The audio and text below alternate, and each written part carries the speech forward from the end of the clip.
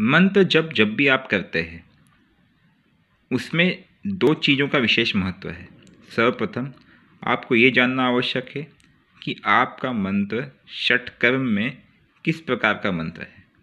और दूसरा, कि वो जिस प्रकार का मंत्र है, उसके अनुसार क्या हमने सही दिशा चुनी है। क्योंकि सही मंत्रों का चयन करना और उसके अनुसार दिशा का चयन करना इसी पर डिपेंड करता है आपकी सफलता और असफलता बारे में।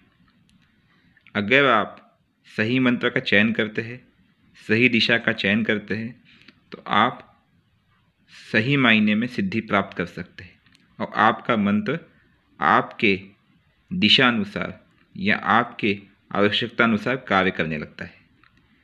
जैसे कि वशीकरण मंत्र हो अगर तो उसमें आपको पूर्व की दिशा की ओर मुँह करके जप करना चाहिए। मावण एवं उच्चाटन कार्य जो है, वो दक्षिण दिशा में मुँह करके करना चाहिए।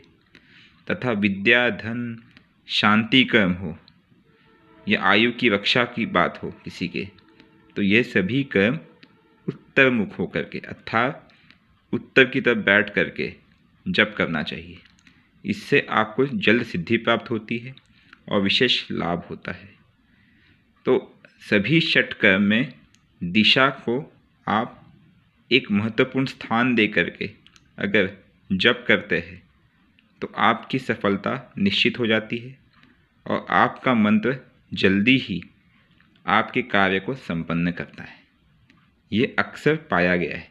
यही कारण है कि बड़े बड़े ऋषि मुनि मंत्र के भेद के अनुसार ही दिशा का चयन करते हैं और उसी दिशा की तरफ़ मुँह करके ही वो जप करते हैं, जिससे उन्हें सिद्धियाँ भी प्राप्त होती है और उन्हें लाभ भी मिलता है।